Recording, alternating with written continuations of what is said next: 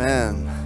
Well, we are currently walking through the uh, the Old Testament book of Nehemiah, really a journal, and we're kind of following uh, Nehemiah. We're following his story and uh, how God had uh, touched his life, put a burden uh, on his heart for a project, rebuilding the walls in the city of Jerusalem that had been broken down uh, some 70 plus years earlier when, out of God's judgment, because of the people of Israel had turned their back on God for years and years and years. He allowed them to be open to their enemies, and, and King Nebuchadnezzar and Babylon had come in they had attacked this city. They destroyed the walls. They just burned down the gates. They destroyed the temple and they took the people captive back to Babylon. And you might remember some people by the name of Daniel, Shadrach, Meshach, and Abednego. They were some of the exiles that were taken, but there were others as well. And uh, that was just for a period of time. God had always promised that He was going to release His people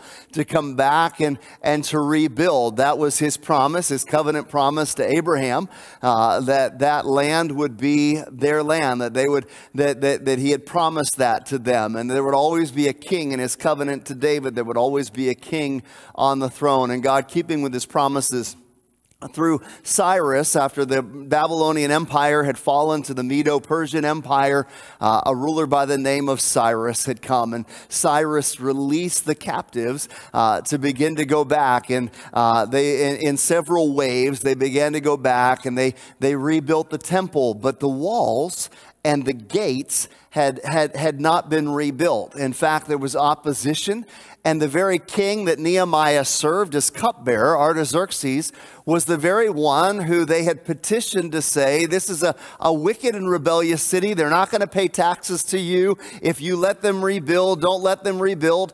He stopped all the work. And so the very one that Nehemiah had worked for had stopped the work, and Nehemiah's brother had come and let him know that the city was in reproach, and the walls had been broken down, and the gates had been burned with fire. And it burdened Nehemiah so much that as we talked about over the last few weeks, he, he went into a season of prayer and fasting. And after 100 plus days, God opened up, as we looked at last week, the opportunity for him in the waiting to be able to prepare and to be able to pray into the vision that God had given him and, and opened up the opportunity for him to share the need with King Artaxerxes. And he does. And in God's favor, Artaxerxes says, Well, what do you want to do? And so he shares that God had put it on his heart that he said, Yes, God, send me. I want to go back and I want to rebuild. And God opened up a window of opportunity for him after a season of prayer. And Nehemiah said, Here am I. I'm willing. Send me. And, uh, and he was willing. And he asked for protection in his travels. And he asked for a letter to the king's forest for the supplies that they needed. And so as we begin today, we're going to start at the place where Nehemiah has made a journey, about a, uh, about a three and a half month journey. They had to go uh, on foot, a little bit on horseback, but it took a while for them to get what they needed and to, to, to, to, to leave from where they were in the region or the area of Susa to get all the way back to Jerusalem. And so we're going to pick up our story in Nehemiah chapter 2. And so if you turn with me to Nehemiah chapter chapter 2. That's where we're going to begin today. And again, uh, it's going to be on your screen as well. We're going to start in verse 11, Nehemiah chapter 2, starting in verse 11. Now, as we begin, uh, I, I, I want to clear up or I want to make kind of make clear why walls are important. Why were the walls and the gates such an important thing? Why did it bother Nehemiah? And why was that a reflection of reproach uh, uh, uh, uh, upon the, the, the people of Jerusalem? Why would the walls being burned down bother Nehemiah so much that he would be willing to leave his cushy job in the king's presence, in the palace, eating the best food and drinking the best wine, making sure it was safe for the king, and having the influence? Why would he take a risk and be willing to leave that behind to endure the hard work of rebuilding? What was it about walls? I think in our political day and age, there's a lot of uh, things that might be associated with wall building. Okay, I didn't get the laugh I thought it might. That's okay. Still a little touchy, I understand, as we go into another political year. That's okay. Now, oftentimes when we think about walls, we think of walls as obstacles. Uh, we, we think of walls in terms of opposition. Uh, perhaps we talk about, you know, the, the, you know, I'm just keep hitting this wall and this wall needs to come down. Or some of you get in a conversation, maybe it's with your boss, sometimes it's with your spouse, and you say, man, I just feel like I'm talking to a wall. You know what I'm talking about? Walls tend to have negative con- con- context to them. We, we want to see walls come down, the Berlin Wall. Hey, communism come down. And we want to see walls come down. So, with walls come down, why would Nehemiah want to put walls up?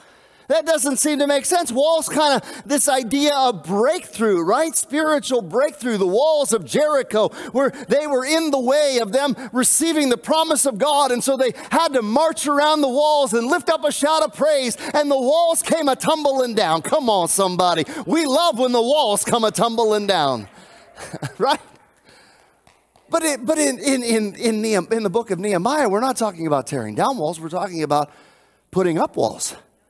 And so what I want to what I want to do is kind of clear up this idea because this idea of putting up walls is, is, is not about putting up these these kind of barriers that, that create a lack of, of openness or, or, or, or something like that. They're not associated with that. There's some spiritual truth to be gained in walls being torn down. However, in ancient cities, particularly in the Old Testament, walls not only represented protection, but they represented the strength of the people and they represented the strength of the God that they served. There, were, there, were not, there was not artillery. And there was not the kind of armies and the, and, and the kind of defense systems that we have, uh, that, that we have today. In fact, to protect against uh, invaders, and, and oftentimes this is kind of the way it went. The strength of your God was associated with the power of your army and the ability for you to take hold of territory. And when you would win a battle, you would win a battle in the name of your God, whatever it was. Again, if you look in the Old Testament and ancient cultures, there are no atheists.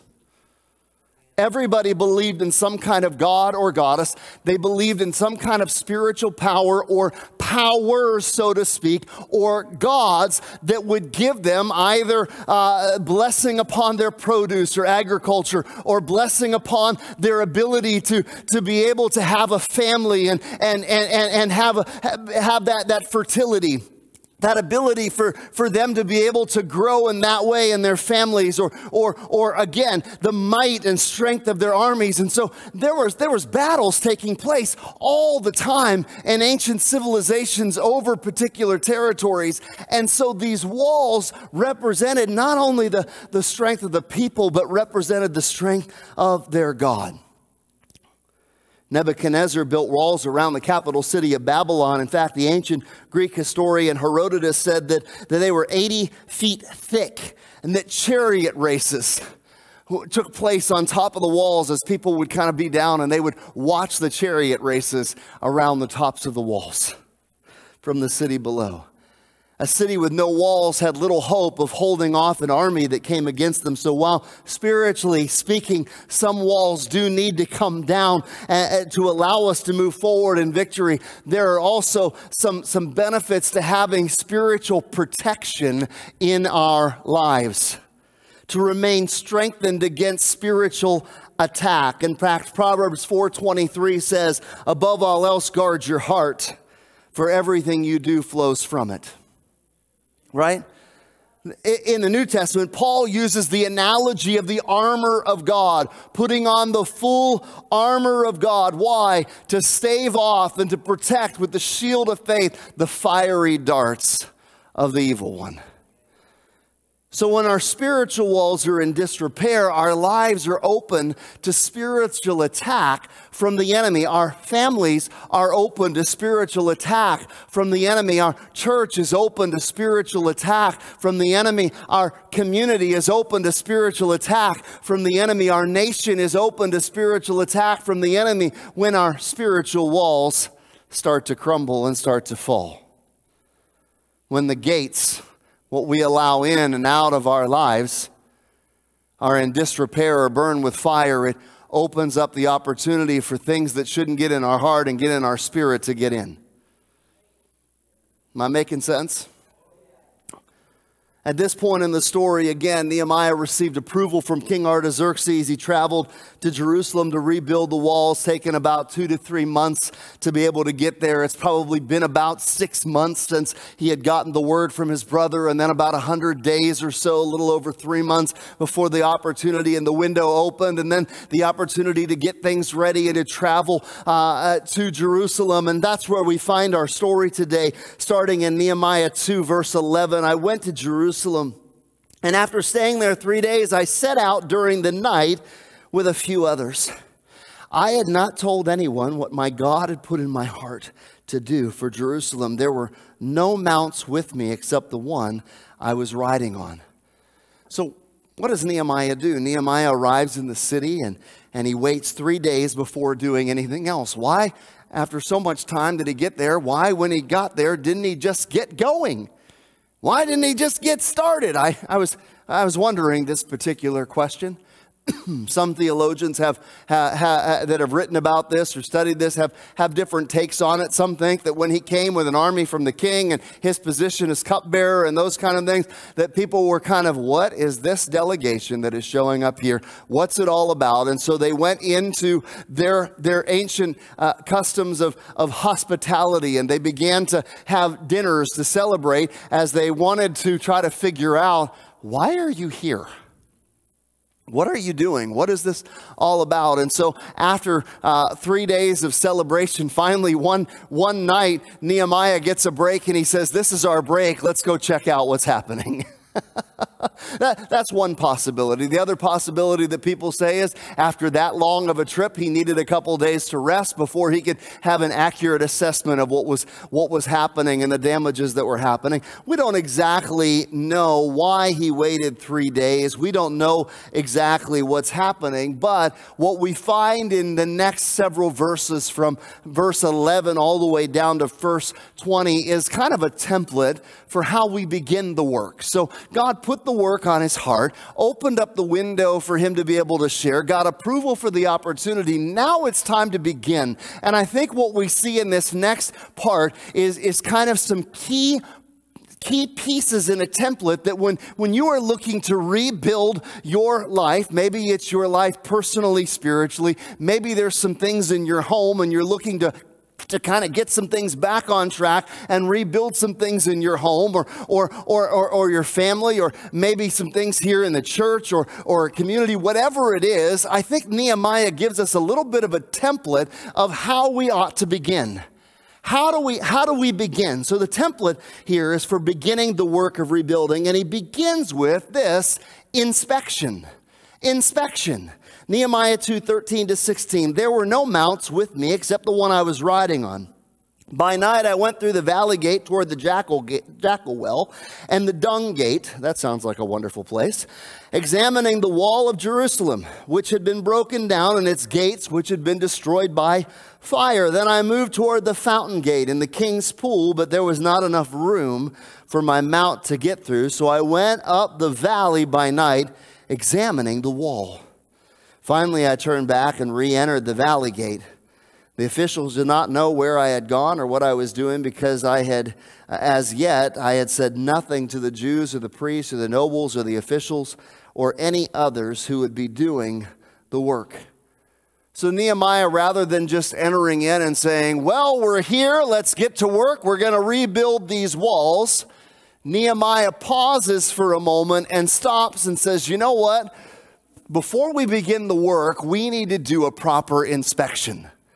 We need to do a proper investigation. We need to do a proper inspection. We need to take an honest look at the damage. What Nehemiah did not want to do was presume to understand and to know just how bad things were or, or just where the work was simply by what he had been told by his brother six months earlier.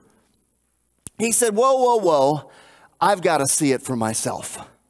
I've got to take time to see it for myself. I've heard about it, but I've not seen it. So, in the cover of night, to, to not incur any kind of questions, and he didn't share the need because he didn't want to hear everybody else's opinion on it. How many of you know what I'm talking about? Right? Sometimes you can see a problem And, and, and if you share that problem with someone else, depending on who they are, they might say, Oh, it's not that bad. Oh, I don't know. I don't think we need to. Do you really have to go that far? Do we really need to? Do we? Do, I, I don't know if it's that bad. You know, I mean, we've been trying here, and there's a few things here, and there's a few things that, and, and kind of get your perspective in a certain direction.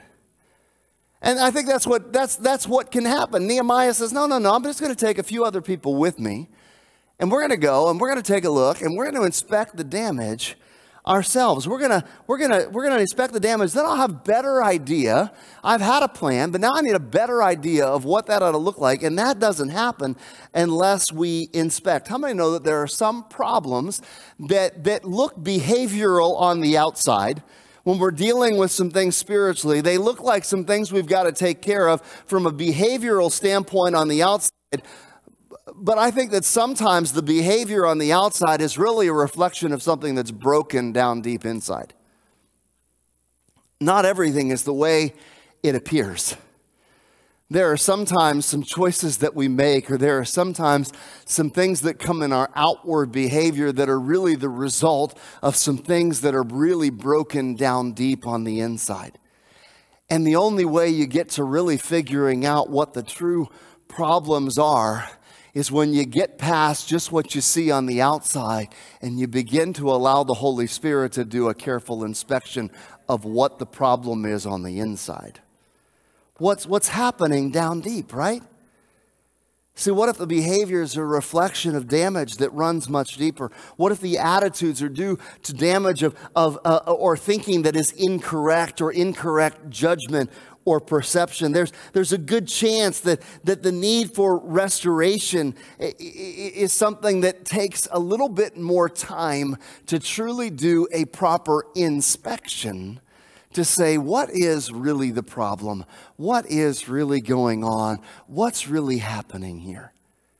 I think at the beginning of the year, oftentimes we make New Year's resolutions and, and we want to start out and we want and we start out like gangbusters trying to do some things on the outside, but really we haven't addressed some problems that happen underneath that really uh, oftentimes hinder us from the changes we want to make or the things we want to see.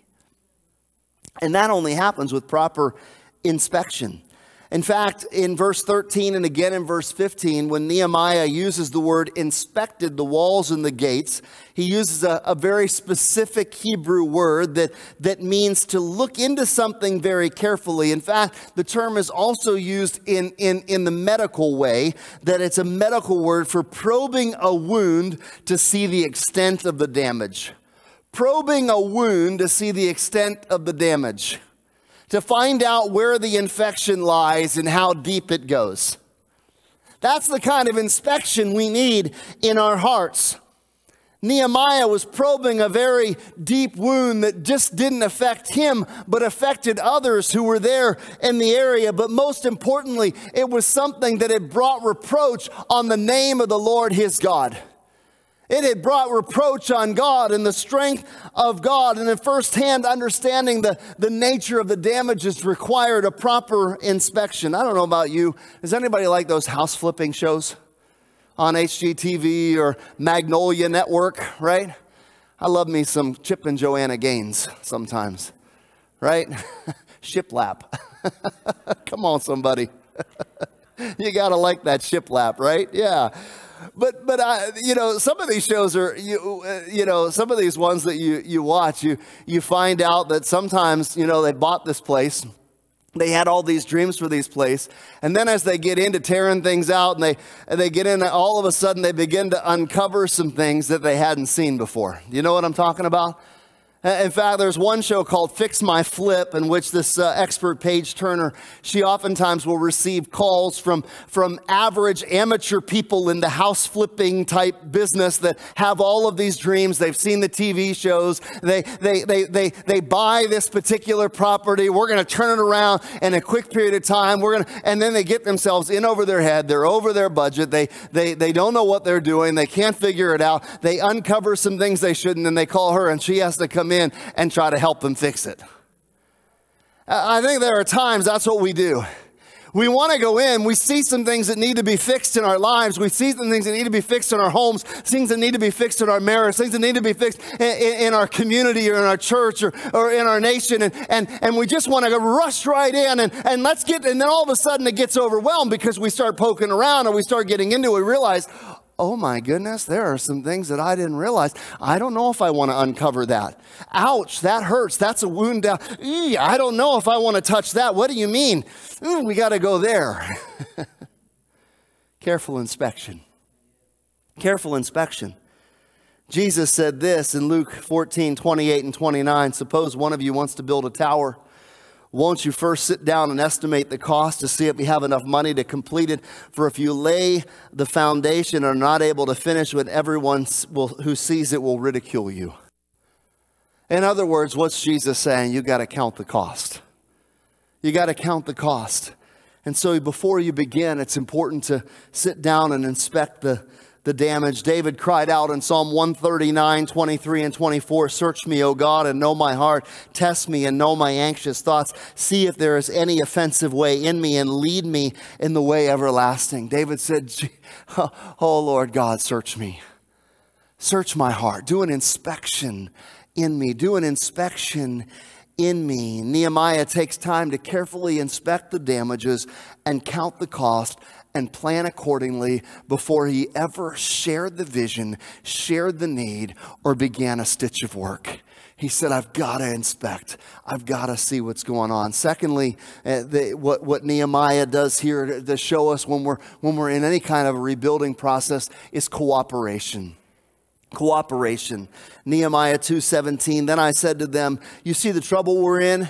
Jerusalem lies in ruins and its gates have been burned with fire. Come let us rebuild the wall of jerusalem and we will no longer be in disgrace now after careful inspection Nehemiah says, you know what? We can't, I can't do this job alone. I didn't come here with these soldiers to do it for you. Let's do it together. Let's rebuild the walls together. Let's rebuild the gates together. It takes cooperation. It takes cooperation. Nehemiah understands the power of partnership and also the power of we. Did, did you see what he said here? He said, You see the trouble we are in. Nehemiah was an outsider. He, he had a cushy job in the king's palace. This, this, this, wasn't, this wasn't his trouble. He didn't live there. He wasn't sitting there. He wasn't in, he had seen the trouble, but he, he wasn't in the trouble. But he says, the trouble we are in. Come let us right? Rebuild the wall of, and we will no longer be in disgrace. In other words, I'm right in here with you. I'm in here with you. I'm not saying it's your fault. You haven't rebuilt this city. You didn't press through. You didn't do what you needed to do. Oh, it was our ancestors. They brought disgrace on this. We are in disgrace. That's ownership. It's ownership. And it's also the ability to say, we need cooperation. We've got to do this thing together.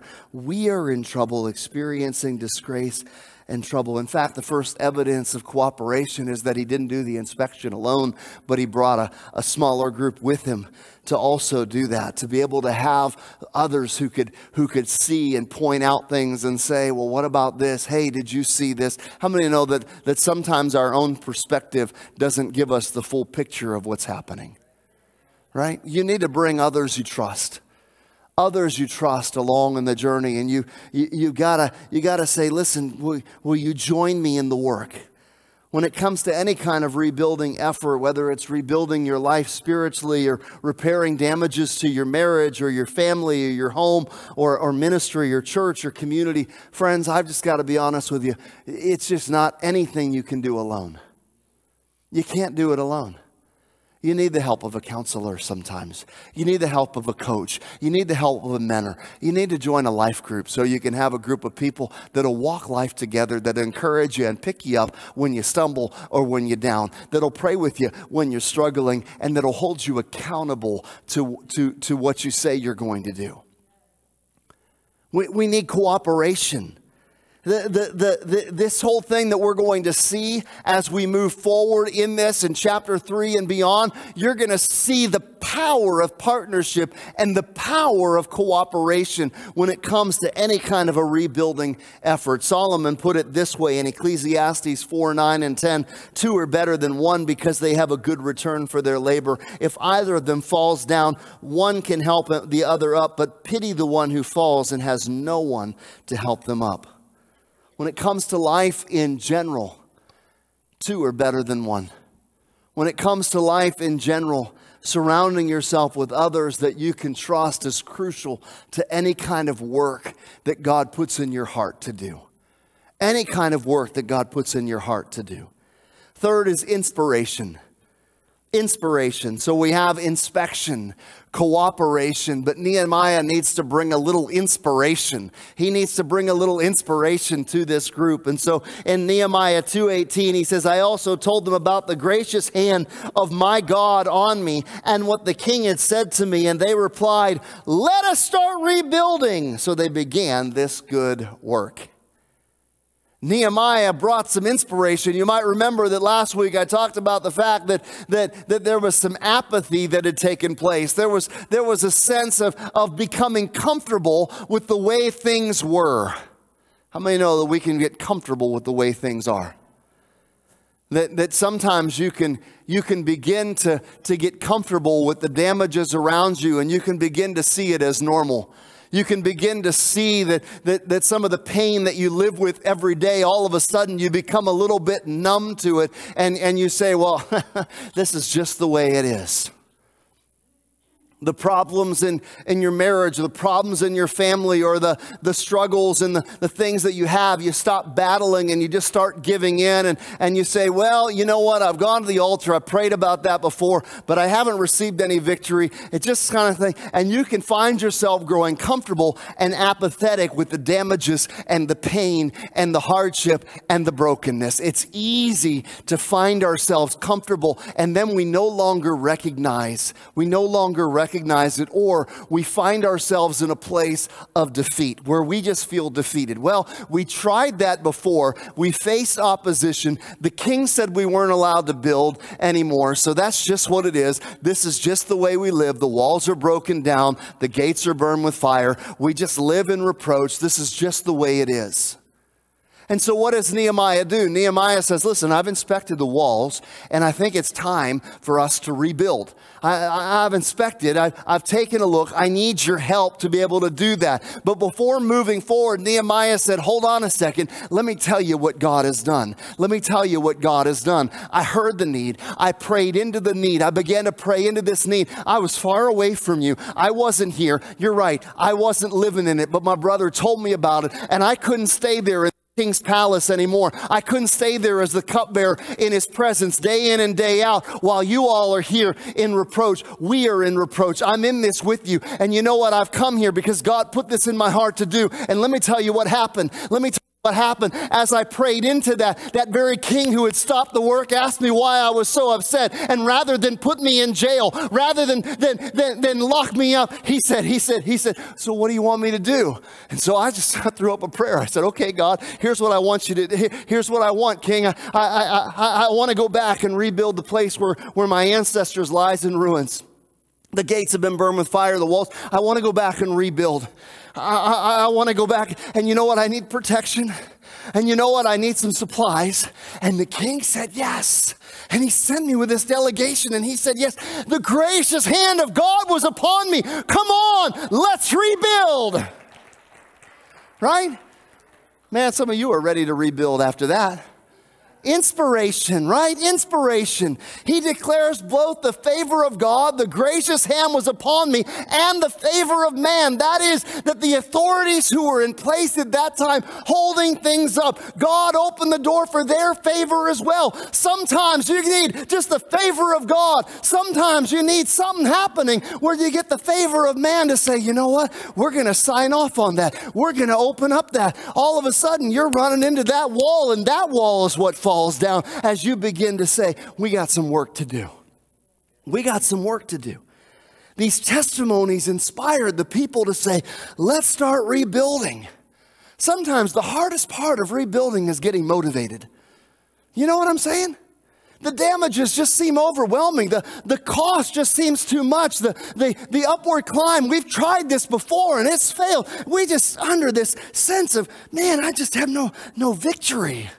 There's just, I can't seem to get victory. Sometimes the hardest place to, to, to, to, with starting is the motivation to get started. And that's where the testimonies come in. That's where the testimonies come in. Sometimes you got to borrow faith from someone else. Sometimes you got to borrow faith from somebody else. Sometimes you got to you got to take a look and listen to somebody else's testimony of how God radically saved them, about about how God radically healed them, about how God radically delivered them, about how God provided for them when they had nothing, about how God opened up a door when there was no door, when they were out of work, they were out of work, they were out of work and they had absolutely they were down to their last dime, but all of a sudden they saw the gracious hand of God provide. And they said, My God will provide. And you're in that situation. You go, I don't know. I don't know. I mean, I'm just under a mound of debt. I just don't know how I'm going to get out of this. And somebody says, Listen, you got to start tithing because I started tithing. And look what happened. God, and you suddenly get motivated to start obeying the Lord and have faith in God and trusting Him. Sometimes you're under it. You get the doctor's reports and you say, Man, I don't know where we're going. I don't know how this, this, this healing is going to come. I, I don't see how this can come. But you hear about somebody else and God healed them. God moved in their life. God did the impossible with them. And you go, Lord, will you do it for me? And all of a sudden it motivates you. A little bit of motivation. Those testimonies, you say, man, I think our marriage is just, I don't think it's ever, I don't, I, I just don't see how we're gonna, how we're gonna work through this. But then you hear the testimony of someone else who says, "You know what? We were we were we were apart. We were we were on the verge of divorce. We were we were we just didn't even know. I, but but you know what? We began to pray, and I began to pray for my marriage. And then God began to do some things. And we, we began to get some counseling. We began to get some healing. We began to learn some different ways to communicate and different ways to relate. And it took a while. It was not an overnight thing. It took a while. But we started putting in the work. And God, God stirred up the, the fires of love back, that the things that we no longer felt anymore. We suddenly started to feel again. Why? Because, because God started to stir it in us. And what God did for us, He can do for you. Come on, inspiration, inspiration, inspiration. D- David wanted to fight Goliath, man. He, he had come up upon an army that, that every day Goliath stood in front of them. And every day Goliath said, Who's going to come out and march against me? And everybody would run in fear and cower. And all of a sudden, this little guy, David, shows up. He'd been out in the field. He was just a shepherd. He goes out, he comes up. He's just supposed to see and check on his brothers. His daddy sends him. And he hears this guy, Goliath, and all of a sudden David is like, I'll fight him. Who's going to fight him? Why are y'all afraid? We serve the army of the living God, right? Why are y'all afraid of this guy? Our God is bigger. And they're like, shut up. You're just, you're just out here. David, be quiet. You're just some little guy. Look at you all puffed up with pride. You come out here. That's his brother. His brother, like, you're just puffed up with pride. You think you can do. He goes, ah, I'm not listening to you. And he shut off that voice. And he talks to him. Finally gets an audience with King Saul. And King Saul looks at him, and King Saul says, Who are you? You're just a little boy. You're, you're not a fighting man. And David says this The God who rescued me from the paw of the lion, or that rescued me from the, from the lion, rescued me from the paw of the bear, that, that same God will rescue me from this. The army of the living God. And it was a testimony. This is what God has done. And, and, and David had motivation and David had inspiration when everybody else was defeated day in and day out by the voices of the giants, by the voices of the giants saying, No, you can't. No, you can't. No, you I'm bigger than you. I'm stronger than you. It's too much for you. You can't. David said, Oh, no, no, no, no, no, no, no, no. There was a lion that was bigger than me, but I gra- God gave me the power and I grabbed it by its mane and that was it. There was a bear that came at me, but you know what? I, God gave me the power to protect my sheep and it's God who does it and it's God who will give me victory over this giant. It's God who will give me. And, and David's act of faith inspired the rest of the Israelite army. It inspired the rest of the Israelite army. Sometimes you need a little inspiration. An inspiration. Third, fourthly, you need a little determination. There's the last one. You need a little determination. Here we come, verse 19, because you know it couldn't be that easy, right? Right? I just stirred you all up. It's never that easy. But when Sanballat, the Horonite, And Tobiah, the Ammonite official, and Geshem, the Arab, heard about it. They mocked and ridiculed us. What is this you're doing? They asked. Are you rebelling against the king? I answered them by saying, The God of heaven will give me success. We as servants will start rebuilding. But as for you, you have no share in Jerusalem or any claim or historic right to it. So immediately he starts to inspire the people. They say, Let us build. And here it comes. Here comes the opposition. Because the moment you start doing something for God, the enemy is going to start coming against you. The moment you start doing something for God, whether you say, you know what, I got to rebuild some spiritual habits in my life. I've got to rebuild in, in my life. I am broken and I need to rebuild my life spiritually. And I need to take some steps to begin to, to, to, to, to, to rebuild in my life or my home or my marriage or my church or my community. I'm going to tell you, the moment you start to do what God inspires you to do is the moment the enemy starts to come with his lies with his lies. He says to Nehemiah, you, You're rebelling. You're rebelling against the king. You're the king's servant. You're Nehemiah knows the truth. No, we're not rebelling against the king.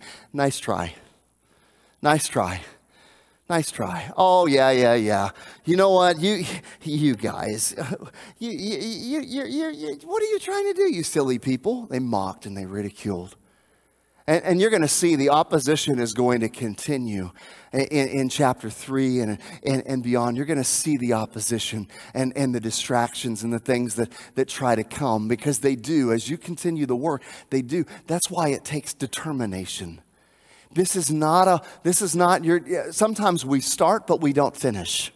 And why? Because sometimes we get weary in the battle. We get weary when the enemy attacks. We get weary when the enemy comes against us. It takes a little bit of determination. Well, who were these men who, who sat opposing the wall to be rebuilt? Why? What was their, what was their motivation? Well, Sanballat was the governor of Samaria, which was to the north. His name was actually a Babylonian name, which could have been that he was someone that when the exiles were taken out was someone that was sent back in to replace so that the the land wouldn't be damaged to kind of rule over an area. And in Samaria, Jerusalem would have been a part of his territory at that time. Therefore, when Nehemiah, the cupbearer to the king, shows up with some of the soldiers and some of the men from the king, he saw it as a political threat to his, to his standing, right? To his position. This, this other guy uh, who's here, Tobiah, he ruled the Ammonites in the east. His, he, he has a Hebrew name indicating that he, he possibly had some Jewish roots.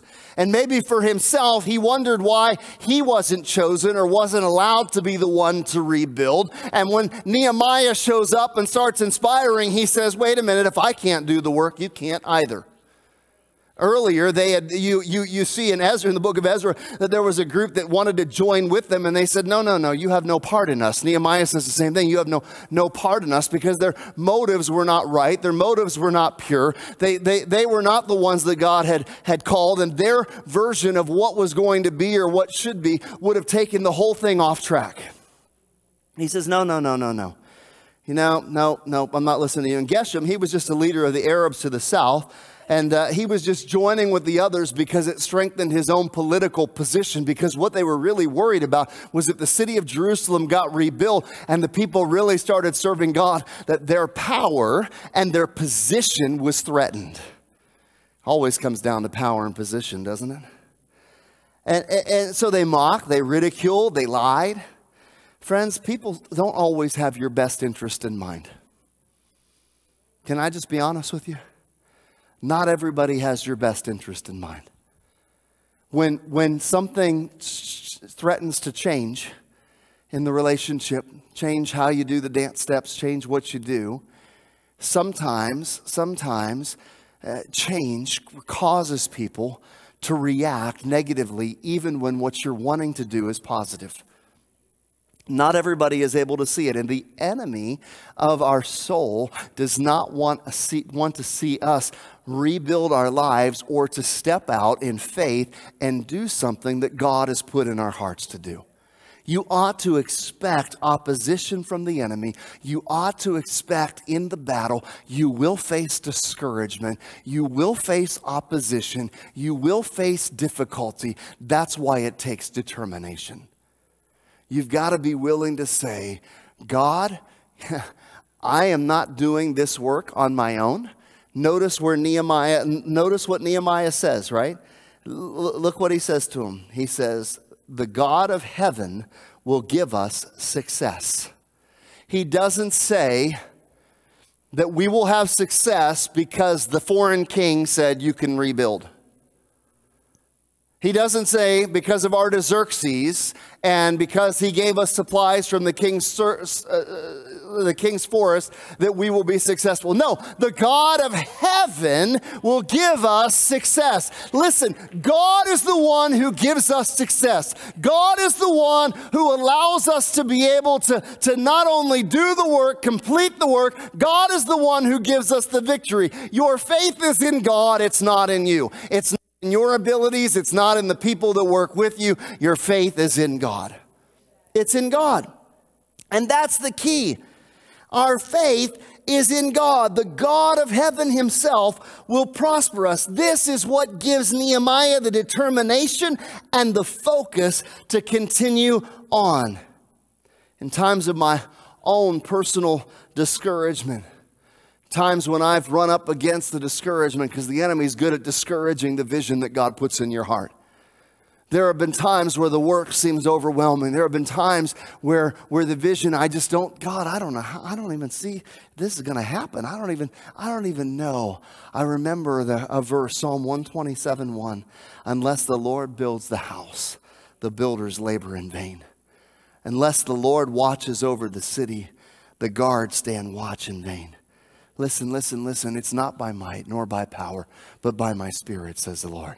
You've got to remember that in that rebuilding process, whatever the work is, whether it's personally in your life or whether it's in your family or in your marriage or whether it's some ministry that God has put on your heart, that, that unless the Lord does the work, unless the Lord builds the house, unless the Lord goes before you, unless the Lord is the one who does it, your, your labor is in vain. The Lord is the one. So when we stand against the opposition of the enemy, we don't do so in our own strength, but we say, The Lord is the one. So rebuilding takes determination, leaning in and tuning out, leaning into God and tuning out the voices that we shouldn't be, we shouldn't be tuning into. Worship team, will you come in order to begin the work of rebuilding your life, whether it's spiritually, your marriage, your family, your home, whether it is our church or doing some work to try to help rebuild some things in this community or our nation. It takes people who are willing to open up their hearts to the Holy Spirit and say, Will you, will you do an inspection in me? Will you give me eyes to see? What do I need to see? Give me a, the ability to pause and, and let me see the things I need to see. Give me the eyes to see the things I need to see. Give me the discernment in my heart. Help me discern so that I can do a careful inspection of the brokenness and the damage that I'm dealing with. It means taking an honest look at our lives, an honest look at our marriage, an honest look at our families, our church, our community, inspecting the work that needs to be done. It, it means bringing others in to say, Will you help me with this evaluation? People that you trust to say, You know, I've been struggling. Will you help me? Will you help me to be able to, to see what's happening? Asking for people's help.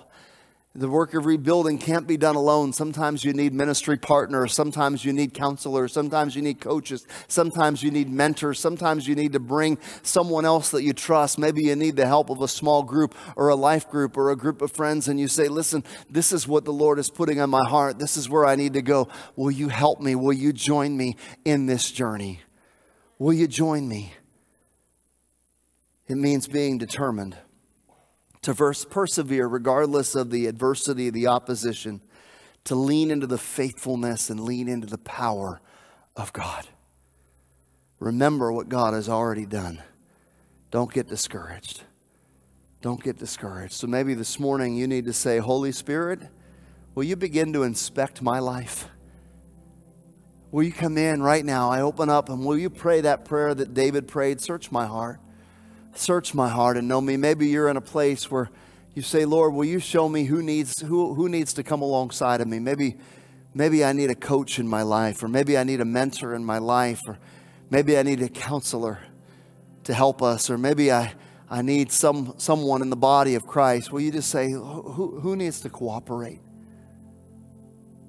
Maybe you're struggling and you just need to borrow some faith and say, I need the testimony of others.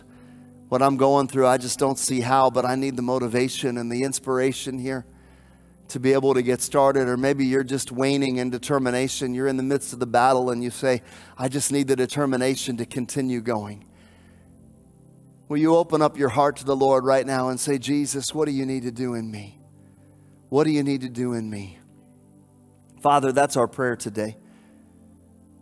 Lord, do a careful inspection of our lives. Holy Spirit, right now, do a careful inspection of our hearts and our lives.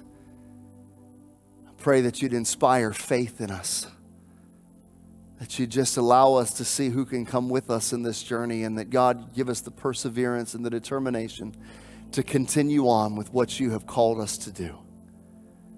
We just thank you, Lord, that we can lean into you and that it's not our own strength, our own talent, our own abilities but Lord, we lean into you for your power and your strength and your might. We give you all the praise and all the glory in Jesus' mighty name. Amen.